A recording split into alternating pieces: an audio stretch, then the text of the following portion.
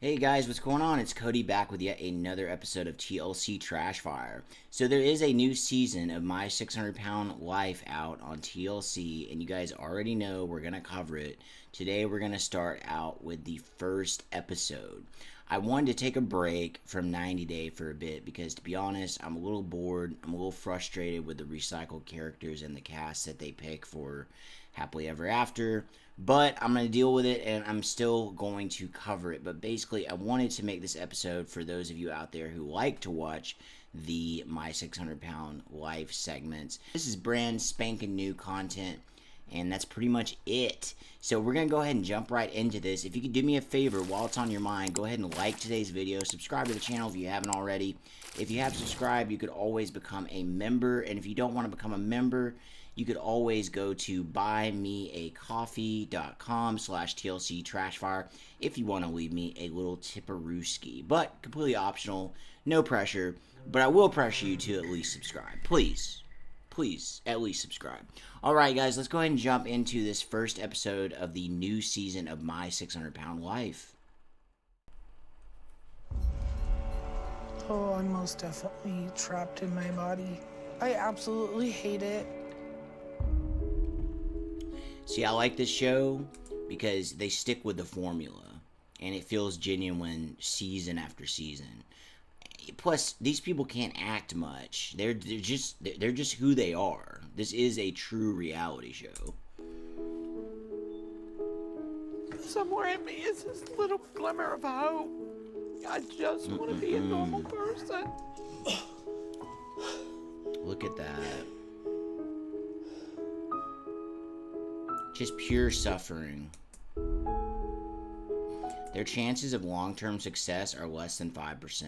I wonder if it's the same with drug addicts and alcoholics and things like that. I don't really know the percentage of success, but that's very low. That means you have a 95% chance of failing long term. You can't do it, and then I just get mad. If I don't make a change now, I'm scared it's gonna be too late. It's just an addiction, is what it is. Okay, Krystal's story. Krystal S's story. Look at that. Weight unknown. She's only 36 as well. You know, a lot of these people die before they're in their mid 40s, though. I'm not trying to be grim or anything, but it's just true.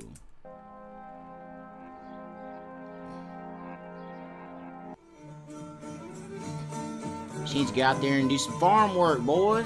That would just shed the weight right off her. Push that plow. She doesn't look that big yet. Oh, okay, never mind. Well, God woke me up today, so that was a plus. That's a great way to look at life. That's one thing that's good. Is there's days where I don't want to get out of bed because of how bad the pain is. Because you eat too much, girl. That's why the pain's so much. Pain because of the weight, my body, the fat. Human body is not meant to have this much fat on them. Okay? A lot of this stuff, and it really frustrates me. For instance, I watched the most recent episode before this, and the woman on there Dr. Now gave her her diet restrictions. She went home and then gained weight and then came back and says, I don't know how I gained weight. I, I ate less than what it said on here to eat. There's always an excuse. But I know I have to get out of the bed because I know if I am bedridden, I would just give up and it would be game over can't believe she's only 36. I mean, she looks a lot older too. It, it, it makes you age as well because your body's having to work a lot harder to keep you alive. Look at that, she can't even get up. Ready? Let's go. I never got this big. I got big though. I got I got over 300 pounds before, but I've never gotten this big. Thank God. But yeah, when I was like over 300, I had a lot of pain. And you just don't, you just become a different person. Like, you just ignore the mirror. You don't want to, you know, it's just, it's a very up lifestyle. You're just like you just you just so addicted to eating that good food. For me, it was like drinking beer and fast food and stuff, and you know, so you just ignore all the signs, and it's slapping you in the face, and you know it's happening, but you're just like, uh, I'm just gonna keep at it, pretty much. I live with my fiance Damien and my two daughters, Faith and Rye, and my parents. We have lived here with my parents for the last. How much do you think she weighs? I'd say at least 700. And we just moved in because I needed a little extra help. So mom and dad said, come on back home. I absolutely hate it. I feel like I'm a child and have to have mommy and daddy take care of me. You do. You you caused that to happen though. Because you ate so much that now you require caregivers. So I'm sorry. There's so much I can't there's do. so much shit. It's like people do stuff and then they're like, "Man, I can't believe this happened because of everything that I did." Like addiction. It's obviously there is psychological issues behind it because I have a lot of experience with being overweight and addiction as well and you're literally choosing to harm yourself and to continue down the path of where basically you're just hitting yourself in the face with a shovel every day. You know that the side effects suck and everything sucks about the lifestyle, but you continue doing it because it feels good moment to moment. And then, but 95% of the time, everything sucks. so, I don't see how that's a life improvement. It's challenging, especially when Faith's at school and Damien's at work. It takes me having help now to be able to get into the shower and have a shower. Look how embarrassing that is for your parents to have to bathe you at when you're almost 40 years old. That's crazy. I and it's something you did to yourself. Like obviously there's medical reasons. Some people are paralyzed. You know, there's different stuff that's out of people's control. But this was 100% her choice to get here. And now she's like, "Oh, it sucks that people are having to be my caregiver, but she put herself there though, you know." Her dad's normal size, right? Oh no, that's her help fiance. Krystal a lot. Getting in the shower, helping her with the shower. If we go to the grocery stores, grabbing the groceries and grabbing her wheelchair, and it's very Look hard for her to move around a lot. Dude, that stool could fall. I feel like it could fall. She could really get hurt, and or it could break somehow. Look at this, man. Out of control. Okay, Honey, Yes. can't turn on. She's 700 pounds easily. Completely out of control. How can you get how can you get here, you know?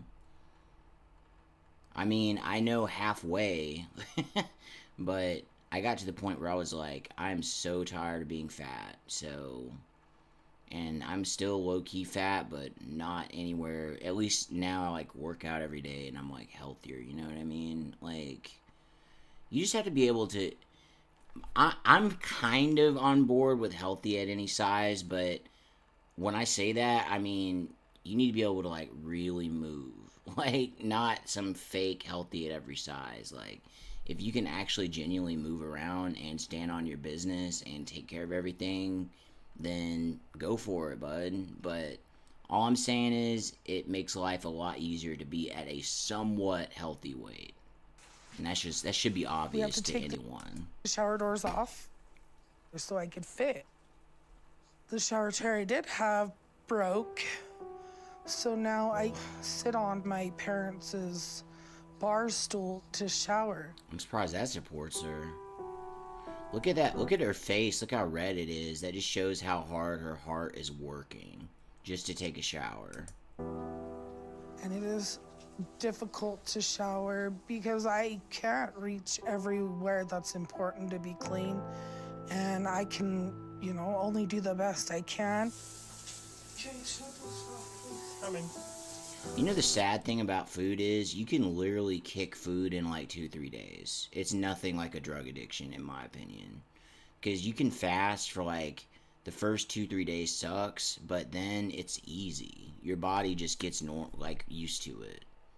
And if someone like this did one meal a day, a day of less than a thousand calories for like four or five months, it would make a like a crazy difference. It, the the weight would just like melt off them, you know. Her weight gain, it started really early.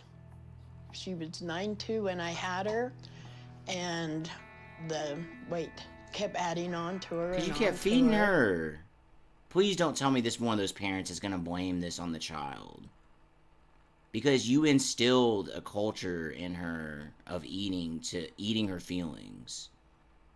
Please don't blame your child for her being overweight. When she started kindergarten, she was about 105 pounds. But it seems like a lot of times she didn't eat no more than her brothers did either. But she liked to eat. My parents had a problem with um, alcohol. They would say There that you go. That's why they let her do anything and gave her all the food that she wanted. It's still not her fault though. When you're a child, your parents need to control your diet. they were going to the bar, and by two, three o'clock in the morning, you could usually hear my mom and dad fighting and screaming. So they stress eating. All the kids in the house stress eating. This looks like my family too growing up, by the way. Everybody in my family was fat. I was like the kid on the left as a kid. Pretty much. Like that was I was probably like maybe 10 pounds heavier. It was scary for me as a child. But when I turned to food, it would calm me. So that's what I wanted to feel was, you know, at peace. I went to school, did everything. She was conditioned into that though. That's how she treated her stress with her alcoholic, druggy, douchebag parents going out every night and then coming home and fighting. That's how she dealt with it. So, this being instilled at an early age also explains a lot of why she ended up like this. every other normal kid did. But school's very hard for me growing up. Kids were mean to me. They would name call and pick on me. It was traumatizing. I would want to eat. That's rough. And when I became aware of being overweight was probably when I was 10 after being ran over. What? what? that took a dark turn. But, you know, I really figured I was overweight when I was 10 and I got ran over by a truck. A giant 18 wheeler truck ran me over. I was walking to school with one of my good friends. I got hit by an SUV walking in the crosswalk. And I flew from one side of the road to the next. And I had to have a whole bunch of stitches and staples put oh in my there. god. The doctor said if I wouldn't have been as big as I was then, I more than likely would have been dead right there on the What? So being fat saved her life? That's sick, dude. I mean, seriously, she I guess it was meant to be, you know? like the doctor's like, you know, if you'd been 10 pounds lighter, you would not have survived this. So in my mind, it's been like you need to stay a bigger size so you will be here. Get serious, girl. What time does Faith get off school? A doctor told me that I was gonna get ran over. If I got ran over by a truck, thank God I was fat. So ever since then, I decided to get fatter and fatter because it's healthy. I mean, the doctor told me it's healthy to be fatter. That's how I survived the truck. So every time I'm, and now I don't even walk anymore because that's that's how safe I am and how uh, seriously I take my health. And I should be home at three. Recovering from those injuries was tough because it gave me an excuse to eat all kinds of ice cream and just lie around. who's buying all this? Shit? The the the f***ing drunkard parents. So I kept getting bigger. That's when I realized food is a comfort. In high school, a lot of times was stressed. I had a lot of anxiety. believe I Because was the bigger you get, oh yeah, she looking like that in high school. She got no dates, man. I'm telling you, like, it's just you got to be a somewhat normal weight in high school to enjoy it. Because everybody's running around, everybody's physical. That's when you're supposed to be exploring who you are, having a good time. You know, if you if you look like this in high school, hardly anybody's gonna talk to you, and you're gonna get bullied a lot. So I just feel bad for her. Her parents just set her up for failure. And then she just carried on those bad habits into adulthood. And now you can see it in her own family. Her own daughter's fat as hell, you know? 14 when Cody and I started dating, and I was 15 when we started being intimate. And then I was 16 years old when I had my son, Devin. He was a very unexpected child. what? Why they got Santa blurred out in the background? he looks like a creep. but I would have to say, me having my son saved my life because loving him gave me a purpose that I needed. There's a lot of heavy editing in that. She has this little boy, and so I made sure I had her finish high school and I'd take care of him during the day. And then when she got home, I'd say, Here's your son. Congratulations. That's literally the least you could have done for your daughter. It's your turn now. But yeah, I've tried to help her her whole life. I don't know about that, but yeah, I mean, that was nice of you to do. For a career path from leaving high school, I didn't have a career path. I have had a few jobs that only lasted very little You because can't walk. I couldn't do it. It No, was no. What can she do? The only thing she could do is work from home. It's too hard on me. She have to, and even that has limitations. She can't even move. And so my significant other has always had to pick up the slack. After Oh my Devin was born, me and Cody actually stayed together for a while. We even got married before I had my first daughter, Rye. See, she was at that. She was at the point where, if she lost weight, she would have been a, a normal-looking person with a normal life. But then she went the other way. She like got like four, five, six times as big. And you know, it's like one of those moments where you like pick your path and then your life ends up a certain way. You know what I mean? So, guys, we are over time here, but basically, I just want to get into the new 600 pound life season. So, make sure to let me know in the comments below did you enjoy me covering my 600 pound life? And I know some of you want to see more, but I really want to hear from the 90 dayers out there. Did you enjoy a little something, you know, mixing it up a little bit? But I'll, I'll obviously find out what the views reflected. And uh, yeah, that's going to be it for today's video. Like the video, comment, keep the conversation going. Subscribe if you haven't already. If you have subscribed, please consider becoming a member. And if you don't want to become a member, please consider buying me a cup of coffee. It's easy. You just go to buymeacoffee.com slash TLC Trashfire, and you can leave a little love if you enjoyed today's video or if you just want to show a little bit of support for the channel. That's it, guys. Have a great rest of your morning, day, afternoon, or evening, and I will see you very shortly in the next video. Bye. What the dog? What the what the dog do?